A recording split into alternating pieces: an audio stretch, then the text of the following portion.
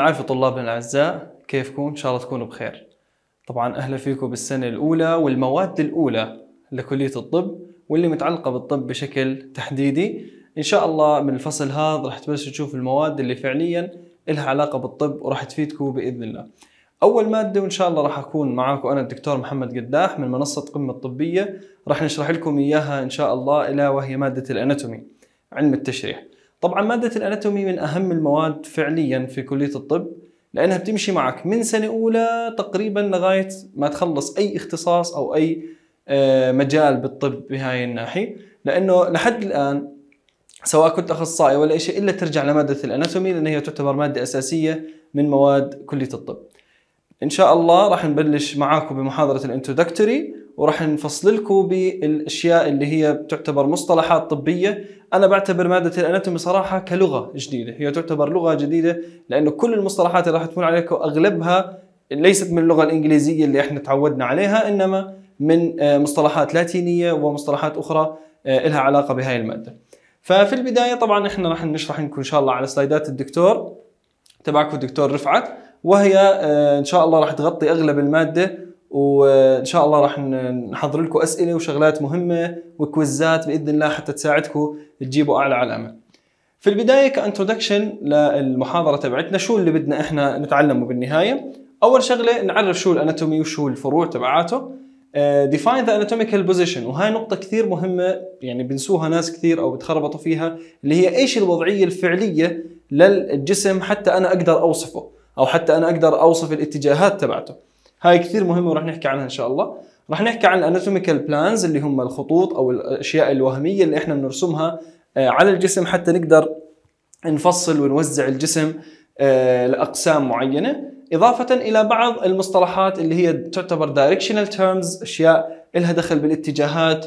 شو معنى مثلا anterior شو معنى posterior هاي الشغلات كلها زي ما قلت لكم لأول مرة هي راح تكون مرة معكم. إضافة لبعض ال anatomical terms اللي راح نحكي عنهم.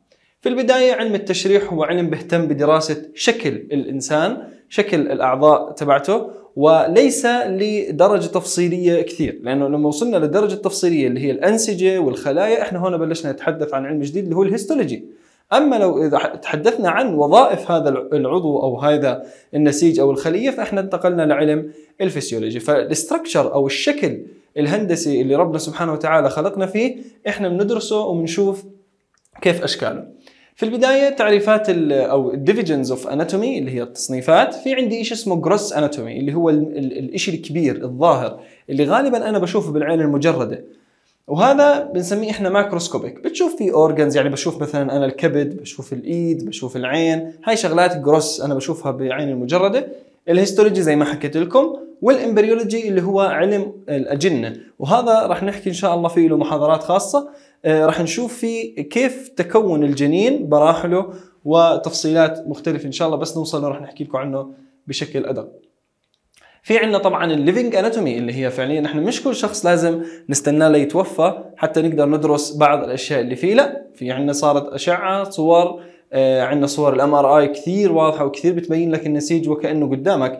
فهاي من ضمن الشغلات آه العلم الجديد اللي خلانا نكتشف أشياء موجودة بالجسم ممكن ما كنا منتبهين لها بعلم التشريح زمان على الجثث وعلى غيره. وفي عندنا ال comparative anatomy هذا طبعا عشان يقارن ما بين الأنواع بشكل عام مثلا نقارن بين الإنسان وبين بعض الحيوانات شو وجه التشابه والاختلاف. في البداية لازم تكونوا عارفين إنه إحنا من في عندنا two approach حتى نقدر ندرس علم ال anatomy. في عندنا ال regional وفي عندنا ال systemic فإحنا يا مقسمينه حسب المناطق يعني مثلا منطقة الرأس منطقة الرقبة منطقة الصدر البطن إلى آخره. هيك إحنا مقسمينه. أو systemic يعني بمعنى الجهاز مثلا الوعاء القلبي بيشمل عندك القلب بيشمل عندك الأوعية الدموية. أو مثلا الجهاز العصبي بيشمل الدماغ بيشمل اللي هو ال spinal cord إحنا بنسميه اللي هو النخاع الشوكي أو الحبل الشوكي. كل هاي الشغلات اسمها system ات مقسمة حسب ال systems أو regional زي ما قلنا لكم على حسب المنطقة. طبعا اطلعوا لي على هاي الصورة وكثير مهم تحفظوا شكلها تمام؟ وحاولوا انكم أنتم تطبقوها على حالكم حتى تقدروا تعرفوا آه، بالضبط إيش هي ال anatomical position طبعا كلمة anatomical position هي الوضعية اللي فعليا أنا بقدر عليها أنا أعتمد أو يعني أستند إليها حتى أقدر أوصف آه، مثلا أشياء معينة بالجسم أو ال anatomy بشكل عام. فمثلا المريض بتلاقيه أو الشخص واقف upright مستقيم عيونه ووجهه باتجاهك إيديه مفتوحات وبنفس الوقت الإبهام هو اللي يعتبر للخارج. فبتلاقي إيده بهذا الشكل الإبهام للخارج مش بهذا الوضعية. تمام؟ لازم يكون فارد إيديه. لأنه هسه راح نحكي مصطلحات إلها دخل مثلا بمين أبعد عن الجسم مين أقرب على الجسم. فهاي الوضعية هي الوضعية الثابتة لل anatomy. طبعا زي ما حكينا بالنسبة لل regions في عندي ال head and neck منطقة الرأس ال thorax اللي هو يعتبر الصدر منطقة الصدر ال abdomen عندنا منطقة ال pelvis اللي هي منطقة الحوض إضافة إلى ال upper limb وال lower limb اللي هي الأقدام والإيدين. تمام؟ okay. وزي ما حكيت لكم بالنسبة لل systemic راح نتفصل فيه إن شاء الله وتكون محاضراتنا أصلا آه، مقسمة على حسب هذا الشيء فراح نحكي مثلا عن الجهاز العصبي راح نحكي عن الجهاز الهضمي كل واحد فيه راح نتفصل ونحكي ال anatomy تبعه بشكل متخصص. زي ما حكيت لكم إيش هي ال anatomical position هاي هي ال anatomical position الوضعية هاي. وزي ما قلت لكم لازم تحفظوها لأنه هسه راح أعمل لكم بنص المحاضرة وأشوفكم مركزين معي ولا لا. لأنه هاي الوضعية لازم تحفظ بشكل صامت زي ما قلت لكم أول شيء هي عبارة عن standing ال arm they are straight down. يعني مباشرة هم إيديهم بيكونوا مفرودين لتحت والأبهام للخارج. يعني اللي هم اللي بنسميهم هذول ال palms يكونوا facing لل observer للشخص اللي بيفحص. ال mouth closed ال eye وال face زي ما قلت لكم looking forward. And one must visualize the position in mind when describing the patient. فأنت لازم تتخيل هذا الشخص بالوضعية هاي حتى لو كان نايم. فمثلا أنت بدك توصف شخص بس هو نايم على الأرض. تتخيله كأنه واقف ووجهه باتجاهك وساعتها بتبلش توصف فيه. مش والله إذا لف وجهه معناته راح تتغير عندك الاتجاهات. لا الاتجاهات ثابتة والمصطلحات اللي راح نحكي عنها إن شاء الله لقدام ثابتة على ال anatomical position الثابت اللي أنا حفظته. في عندنا بعد هيك مصطلح اللي هو ال anatomical planes اللي هي الخطوط زي ما قلنا الوهمية إحنا بنرسمها على الجسم أو بنقسم فيها الجسم حتى أنا أقدر أوصفه وخلينا نحكي نعمل relation اللي هي علاقة ما بين عضو وعضو. فمثلا بدي أوصف أنا علاقة القلب مثلا بالمريء. ممكن أعمل plane اللي هو يعتبر إحنا بنسميه coronal plane بيقدر يقسم لي الجسم للأمام وللخلف. طيب نبدأ بال planes هاي أول واحد في عندي خط بيقسم الجسم نصفين نصف يمين ونصف يسار. هذا اسمه sagittal plane ال sagittal plane هذا بيكون اسمه ماخذه من ال sagittal sutures اللي رح نحكي عنهم إن شاء الله بمحاضرة ال skull اسمهم sagittal sutures بيقسموا ال brain أو ال head إلى two parts طبعا إذا كان بالنص بسميه sagittal plane أما إذا كان على الطرف ماخذ يمين ماخذ يسار اسمه parasagittal para بالمصطلح هي ما حول يعني بنحكي إحنا مثلا parasympathetic يعني ما حوالين ال sympathetic وكذلك الأمر عندنا ال parasagittal في عندنا الاسم الثاني أو الشيء الثاني هو عبارة عن plane تمام؟ خليني أجيب لكم ورقة وأشرح لكم عليها أكثر. فمثلا أنا بجيب هاي الورقة. إذا عملتها بهذا الشكل اسمه sagittal plane لو عملتها بهذا الشكل وقسمت جسمي من النص ل anterior و posterior أمام وخلف هذا غالبا اسمه coronal plane. وبرضه ماخذ اسمه من ال coronal suture اللي راح نحكي عنهم إن شاء الله بمحاضرة ال skull في عندي other another one اللي هو بيجي اسمه transverse وهذا أنا بقسم فيه بشكل horizontal uh, بشكل uh, قطعي. تمام؟ وهذا إحنا بالعادة ممكن يمتد من فوق لغاية الجسم كامل وين ما انت قصيت الجسم أو اخذت section منه راح يكون هذا هو أيضا transverse plane تمام. طبعا في عندنا بعض ال planes الثانيات بس هذول يعني مش متفصلين فيهم. ركزوا لي على هذول الثلاث اللي هم ال sagittal وال parasagittal ال coronal وكمان ال transverse plane بالنسبة ل زي ما حكينا هون طبعا شرح اللي حكيت لكم عنه إنه ال coronal plane بيقسم الجسم إلى frontal أو اسمه هو طبعا frontal إلى anterior و posterior إلى front و back تمام؟ بيقسمه ل anterior و posterior أما ال sagittal فهو بيقسمه إلى right و left تمام؟ وحكينا إذا كان بال midline اسمه sagittal وإذا كان حوالين الجسم طبعا بيكون إذا كان بالنص بالضبط بيقسم الجسم إلى equal part يعني بيكون اليمين مساوي لحجم الشمال. إذا كان بالجنب أكيد اليمين مش نفس الشمال أو الشمال مش نفس اليمين لأنه اختلف القياس هنا تمام؟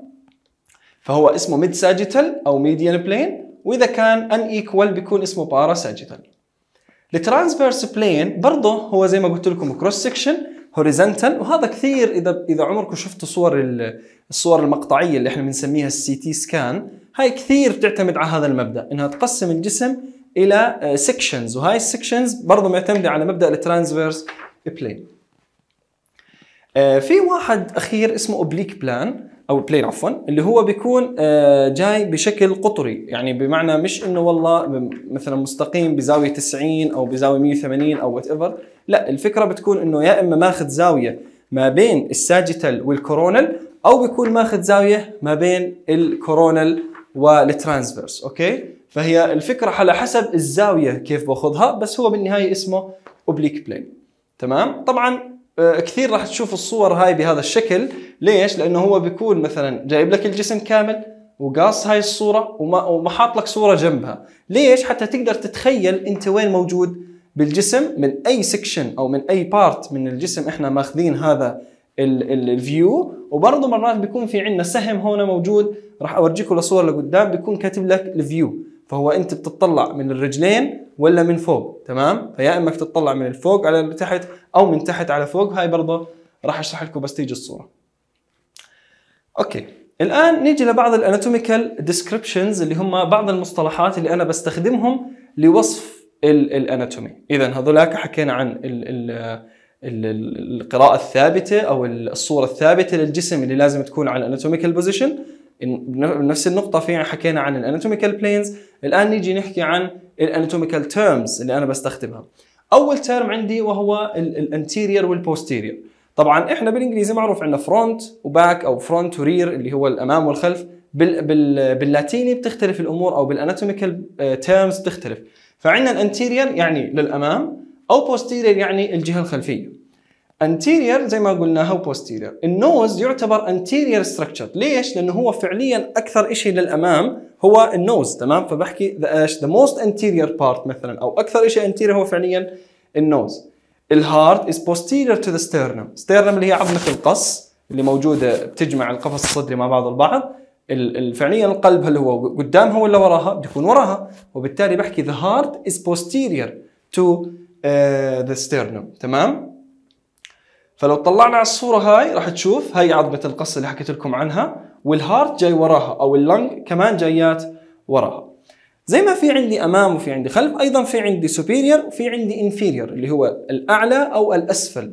فكلمة superior أو حتى مرات نحكيها cranial اللي هي تاجي أو زي يعني خلينا نقول above آه علوي تمام شيء superior يعني آه معتلي أو inferior اللي هي caudal caudal معناها أيضا ذيلي وهاي غالبا المصطلحين هذولا caudal و cranial نوصفهم أكثر لل fetus لل baby آه، داخل الرحم. فزي ما حكينا مثلا ال head يعتبر superior to the shoulder. الرأس أنا أكيد هو فوق الأكتاف فبحكي the head is superior to the shoulder. آه، وبنفس الوقت مثلا بنحكي ال knee joint اللي هو الركبة تحت منطقة الحوض فبقول it's inferior to the hip joint الركبة تحت الحوض. في مصطلح بس هذا غالبا نادر جدا ما نستخدمه هو خاص فقط لل brain تمام؟ اللي هو اسمه rostral. و rostral هي فعليا علاقة الجزء هذا من ال brain نسبة إلى الأنف. هل هو قريب عليه ولا بعيد عنه؟ تمام؟ فلما نحكي rostral يعني باتجاه الأنف أكثر. فمثلا لما نحكي عن ال frontal lobe it's rostral to the parietal lobe in the brain إحنا في عندنا أجزاء من الدماغ إن شاء الله بس نوصل للجهاز العصبي راح نحكي عنهم. اللي هو الجهة الأمامية من ال brain اسمها frontal lobe والجهة اللي بالنص تقريبا اسمها parietal lobe فلما نحكي عن frontal is rostral يعني هي أقرب للأنف من ال parietal فهاي لسه إن شاء الله بس نحكي عن ال nervous system الجهاز العصبي راح تفهموا أكثر زي ما حكيت لكم هذول هم. بس مش مطلوب منكم تعرفوهم هسه.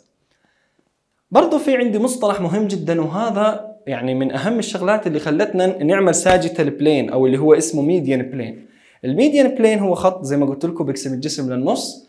منتصف الجسم كل ما أنا بعدت عنه يعني اتجهت باتجاه الخارج عن وسط جسمي هذا بسميه lateral يعني أبعد. أما كل ما كان الجزء اللي من جسمي قريب على ال median اللي هو plane هذا أو الجزء الوسطي للجسم يعني زي خلينا نحكي ال center أنا بحكي it's medial يعني يا إما lateral أبعد أو medial يعني أقرب إلى الوصف أو عفوا إلى الوسط. فعندنا medial toward median sagittal plane زي ما قلت لكم باتجاه الوسط. فلو اطلعتوا على الصورة هاي راح تلاقوا إنه مثلا الكوع على سبيل المثال اللي هو هون يعتبر lateral مقارنة مثلا مع خلينا نقول الخاصرة. تمام؟ مين أقرب فعليا على الجسم أو على مش على الجسم بالضبط على ال- ال- النص تبع الجسم مركز الجسم اللي هو الوسط. أقرب معناته medial والشيء اللي لبرا بسميه lateral هون برضه مثال عليك ولاحظ كيف إنه مثلا the nose is medial to the eyes فعليا العين أقرب على الوسط ولا الأنف أقرب على الوسط؟ الأنف. وكذلك الأمر مثلا ال- الأذن أقرب على الوسط من العين ولا لا؟ لا تعتبر أبعد. فبحكي the ear is lateral to the eye مثلا لأن هي تعتبر أبعد عن خط الوسط. هنا طب أنا فرضا مثلا هي إيدي. لما بدي أحكي عن ال thumb بحكي ال thumb medial ولا lateral خذ وقتك وأنت تفكر. طبعا أنت أول شيء لما تشوف إيدي بهاي الوضعية راح تفكر إنه ال thumb هو أقرب على الوسط تمام كونه إيدي هيك ولكن لو رجعت لل anatomical position ال anatomical position إيدي بتكون بهذا الشكل. فيعتبر ال thumb أبعد عن مثلا ال little finger صح؟ يعتبر هو lateral لأنه لو جيت أنا اطلعت مثلا على وضعية الجسم هون اطلع هون راح تلاقي إنه ال thumb أبعد من ال little finger تمام؟ وهذا بهم ليش إحنا ممكن آه نتخربط ببعض المصطلحات أو ال medial وال lateral وكذا باختلاف وضعية الجسم؟ لا. إحنا بنرجع لل anatomical position الثابتة وعليها بنوصف تمام؟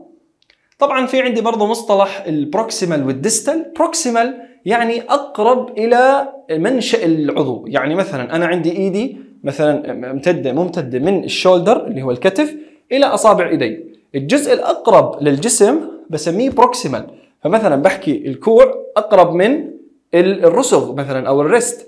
فبقول this is proximal to the wrist. ال distal يعني من اسم distance distal يعني أبعد في مسافة. وبالتالي بحكي أنا distal يعني أبعد عن مثلا اللي هو الجسم بالنسبة ل نمو العضو. وكذلك الأمر بنطبق على ال organs اللي لهم بداية ونهاية مثلا.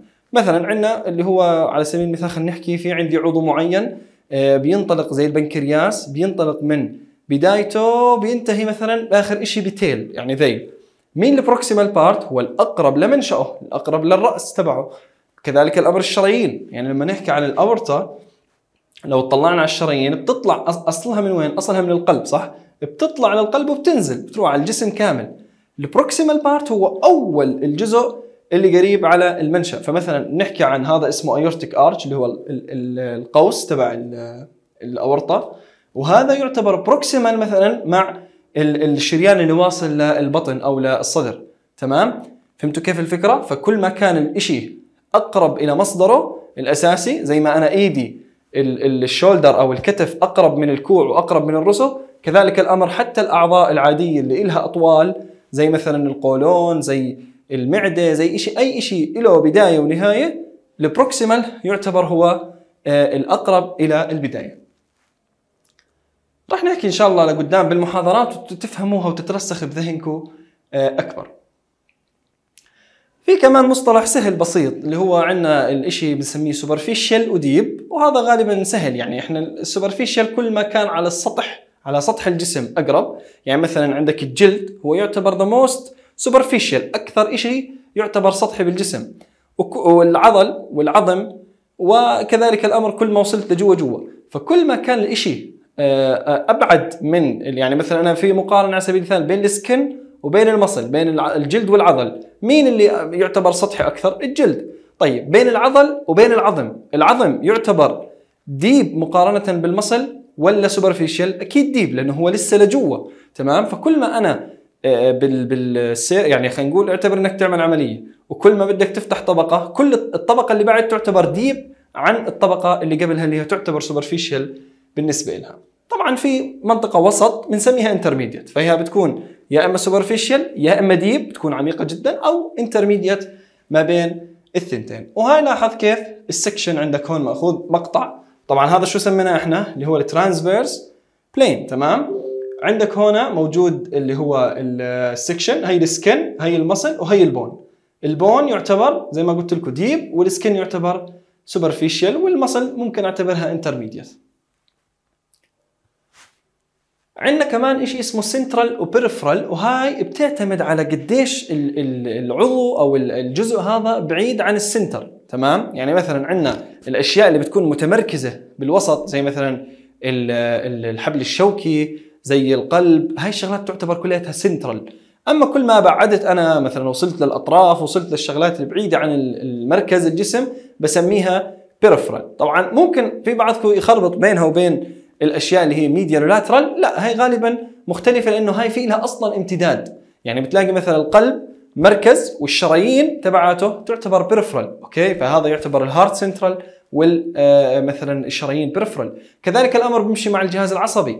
يعتبر الدماغ وال spinal cord اللي هو الحبل الشوكي هذول يعتبروا سنترال لأنهم بالنص وأساسيين والأعصاب الطرفية اللي بتوصل الإيدين وكذا هاي تعتبر peripheral تمام؟ ف it's not the same بالنسبة ل medial و lateral. في عندنا كمان مصطلحين حلوات شيء اسمه ipsilateral وشيء اسمه contralateral كلمة ipsilateral يعني نفس ال side نفس الجهة. فمثلا أنا إيدي اليمين وركبه اليمين بعتبرهم ipsilateral لأنهم بنفس الجهة من جسمي جهة اليمين. وعين اليمين ipsilateral مع إذن اليمين تمام؟ contralateral يعني بالجهة المقا- المقابلة. يعني مثلا إذن الشمال عفوا هاي اليمين إذن اليمين مع رجل الشمال it's contralateral فهي contralateral و ipsilateral تعتمد على حسب هل هم بنفس الاتجاه أو بنفس الجهة تبع الجسم ولا مختلفات. عندنا كمان مصطلحات خاصة بالإيدين وبالرجلين. الإيد نفسها بطن الإيد أنا بسميه palm okay؟ اسمه palm وظهر الإيد اسمه dorsum تمام؟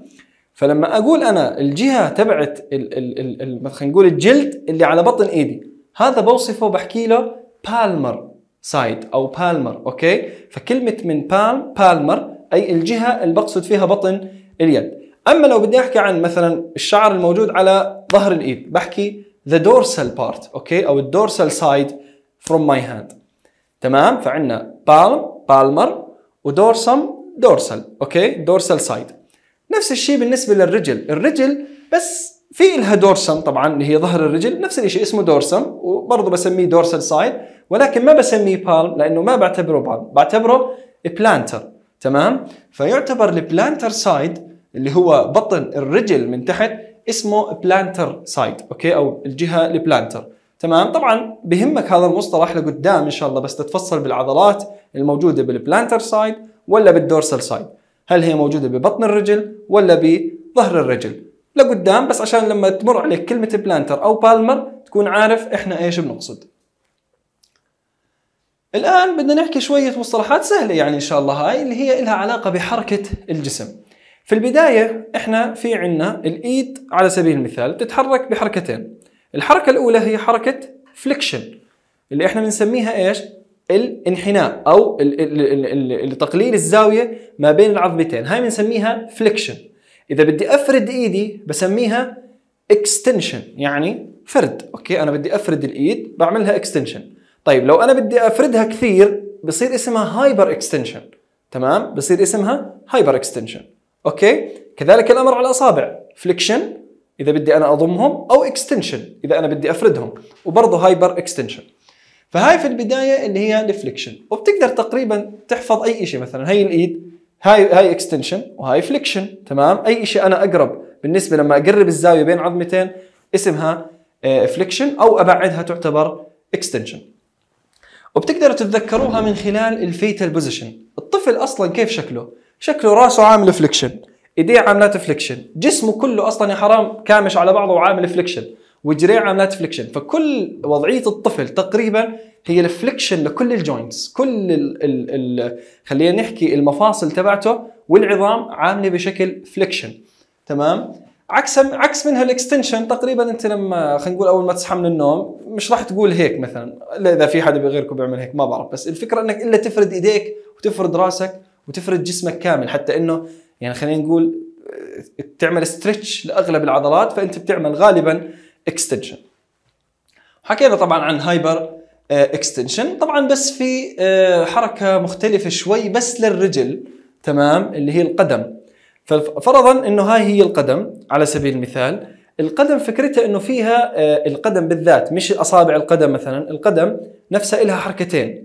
حركتين اسمهم flexion وهنا بنقدر نستخدم الكلمتين اللي حكينا عنهم هي plantar و dorsal فلما نحكي إنه دعسه البنزين مثلا تخيل إنك تدعس بنزين. دعسه البنزين هاي أنت إجرك بتروح باتجاه ال plantar ولا ال dorsal باتجاه ال plantar فبسميها plantar flexion تمام؟ flexion يعني عبارة عن انحناء ولكن باتجاه ال plantar أو إذا بدك ترفع رجلك على البنزين هاي بتكون باتجاه ال dorsal صح؟ وبالتالي بصير اسمها dorsal برضه flexion تمام؟ إذا ما في extension بالنسبة اللي هو المفصل الكاحل أو اللي هي القدم نفسها فعندنا إما plantar flexion أو dorsiflexion في عندنا كمان مصطلحين حلوات بحبهم أنا اللي هم ال abduction وال adduction طبعا زمان ما كناش قادرين نميز بينهم قد ما هم زنخات بس تقدر تحفظهم من خلال كلمة add add يعني يضيف. فأنت لما تضيف يعني بدك تقرب الأشياء على بعض. تمام؟ عشان تعمل إيدك واحدة بدك تعمل adduction يعني تقرب الايدين. بدك تعمل جسمك واحد بتقرب ايديك على بعض فبتعمل add adduction إضافة يدك إلى جسمك. فهي اسمها adduction أما لو بدك تعمل abduction العكس. هيك أتوقع سهلة وبتقدر تحفظوها. من كلمة add يعني إضافة بتكون أقرب إلى الجسم أو أقرب للأعضاء على بعضهم البعض فمثلا أصابعي هذول مفرودات اسمهم abduction بدي أقربهم بعملهم شيء اسمه adduction أوكي؟ برضو عندنا ال elevation وال depression سهلة اللي هي الرفع أو ال depression اللي هي التنزيل. فمثلا أنت لما بدك تفتح ثمك فعليا راح تعمل depression بدك تنزل ال mandible اللي هي عظمة الفك فبتعملها depression كذلك الامر إذا بدك ترفع كتفك برضو بدك تعمل elevation في عندنا protraction و retraction pro يعني للأمام. تمام؟ زي كيف مثلا تلفونات آيفون كذا كذا مش عارف شو pro pro يعني زي شيء متقدم أو شيء حديث أو شيء يعني للأمام. فهو غالبا pro يعني protraction إنك تقدم للأمام العضو مثلا زي إنه كتفك مثلا يتقدم للأمام أو أو الفك حتى ممكن يتقدم للأمام.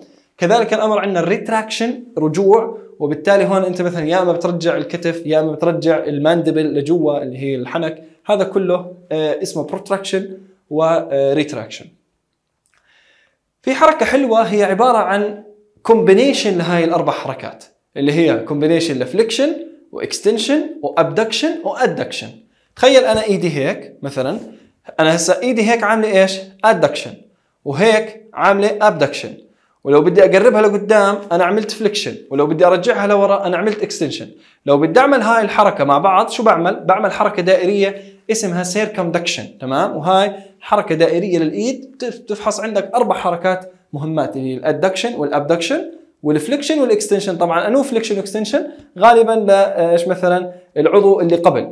فمثلا أنا بدي أحرك الإيد بحرك ال shoulder. بدي أحرك الكوع بحرك الكوع نفسه. تلاقي الحركة كلياتها على الكوع نفسه. لو بدي أحرك إيدي كل الحركة بتشتغل وين؟ على الرسغ فهي ال joint اللي قبله هو اللي بيكون اشتغل ال flexion وال extension وإلى آخره الأربع حركات اللي حكينا عنهم. طبعا ال rotation بالنهاية إنك بدك تلف إيدك مثلا. هي إيدي بدي ألفها لبرا بدي ألفها لجوا. هاي internal و external rotation تمام؟ إما للداخل أو للخارج. آه طبعا نفس كلمة anterior هي نفسها medial يعني أنا لما أقرب إيدي على ال medial side أكيد أنا بحكي medial rotation أو internal rotation أو lateral للبرا زي ما قلنا إحنا كل ما بعدنا عن ال midline فبسميه lateral فبسميه lateral rotation أو external rotation في حركة كمان حركتين هذول مهمات نحفظهم اللي هم ال supination وال pronation كيف بدك تحفظهم؟ فعليا مرات بتخربطوا. supination أنت لما تحكي سبحان الله مثلا مش راح ترفع ايديك زي هيك صح؟ ما راح تقول سبحان الله راح تحكي سبحان الله صح؟ فإيديك بالوضعية هاي facing وين؟ وين جايات باتجاه السماء صح؟ لفوق. فهاي الحركة اسمها supination أما لو بدك تعمل العكس اسمها pronation تمام؟ فهم أربطهم مع بعض وتذكر سبحان الله يعني الإيدين لفوق فبتكون supination ولتحت بتكون pronation okay؟ فهاي بس طبعا خاصة بالإيد ال palm. آه ال movement لل mandible حركات يعني مش عارف هي بس الفكرة إنه زي ما قلنا protraction retraction بدك تعمل مثلا حركة لبرا اسمها lateral excursion تمام؟ إذا بدك تحرك مثلا الفك لبرا اسمها lateral excursion أو إذا بدك ترجعه للوسط اسمها medial excursion okay؟ فهي بالنهاية حركة للفك سواء كانت للأمام للخلف أو يمين ويسار أو عفوا يمين ووسط لأنه اليمين واليسار الثنتين اسمهم lateral بس إذا بتخليه بالوسط اسمها medial excursion طبعا زي ما قلنا لكم برضه في elevation وفي depression لل mandible ال movement of the digits في حركة كمان ثانية للإيد وهي غالبا نستخدمها عند التسبيح اللي هي لما مثلا أنت تجيب الإبهام على مثلا أصبع من أصابعك على رؤوس الأصابع هاي غالبا اسمها opposition ال opposition زي نظام زي ما قلنا التسبيح وفي عندنا reposition انك إنك ترجع إبهامك للوضع الطبيعي. طبعا هاي كثير لها مهمة يعني لقدام إن شاء الله رح نحكي عن آه، لما ينقطع عندك عصب معين مثلا راح تفقد القدرة على عمل هاي الحركة وبالتالي آه، مهم جدا تعرف شو هي الحركة وشو آه، نظامها. طبعا هون زي ما قلت لكم موضوع ال dorsiflexion وال plantar flexion هم الاسم مختلف لأنه في عندنا الثنتين هم يعتبروا flexion ولكن حسب هل أنا باتجاه ال plantar ولا باتجاه ال dorsum وإذا حركت رجلك بالاتجاه لجوا تمام؟ يعني هي رجلك مثلا هيك. إذا حركتها لجوا باتجاه الرجل الثانية هاي اسمها inversion تمام؟ inversion أما لو بدك تحركها لبرا فاسمها eversion تمام؟ برضه هذول الحركتين مهمات لهم دخل لأنه كل عضلة غالبا لها شغل تحرك القدم أو الإيد بحركة معينة. فهاي برضه اللي هي inversion أو eversion وحكينا لكم عن الثانيات. ويعطيكم ألف عافية. هيك خلصت محاضرتنا إن شاء الله اليوم اللي هي محاضرة ال introductory. وإن شاء الله بشوفكم بالمحاضرة الجاية. راح نحكي فيها عن السكال وراح نتفصل فيها إن شاء الله ونحكي لكم أهم الشغلات اللي ممكن يركز عليها الدكتور أو إن شاء الله تجيكم بالامتحان وموفقين إن شاء الله. يعطيكم العافية.